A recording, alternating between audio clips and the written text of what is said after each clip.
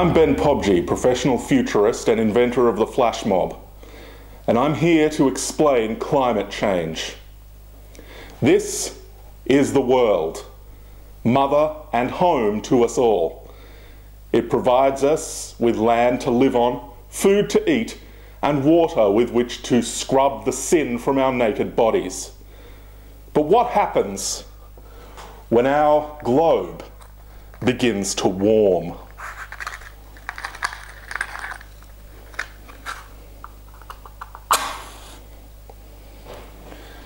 In a very real sense, this is what's happening to us every day.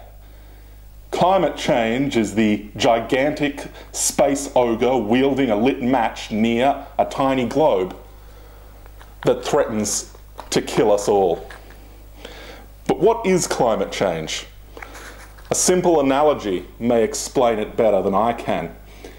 If you imagine that this globe is the actual globe, and if you imagine that the sun is a gigantic basketball somewhere here, now imagine that every day we are spewing gases into the atmosphere that form a shiny glass orb, much like a snow globe, around both the basketball and the earth.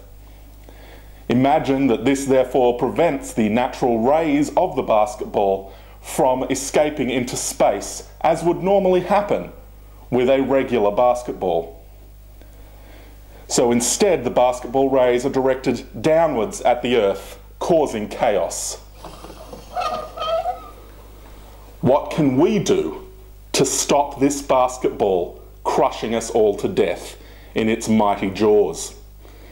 Our government has the idea that a carbon tax will solve climate change. How does a carbon tax work? Well, firstly, Julia Gillard and Bob Brown get together for a powwow.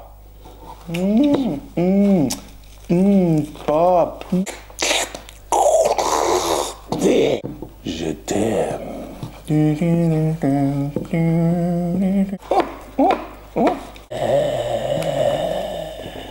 And then there's Tony Abbott the sly Australian fox, who wishes to address climate change through direct action, thus.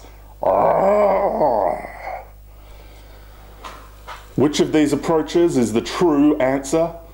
Only time will tell.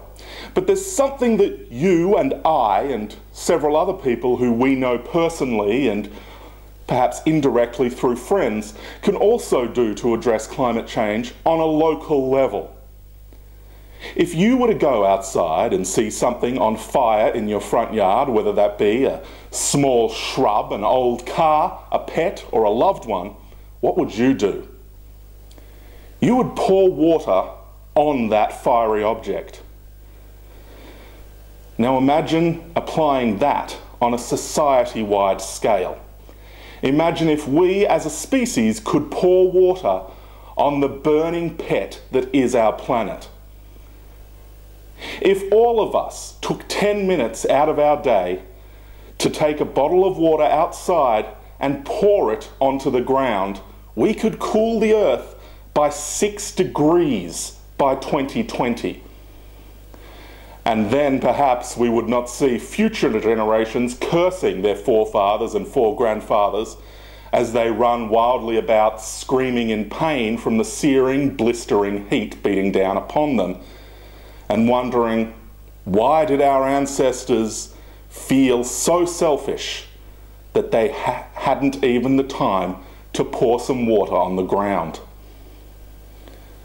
I've been Ben Pobjie, this has been Climate Change, and I'll see you on the lawn with some Mount Franklin.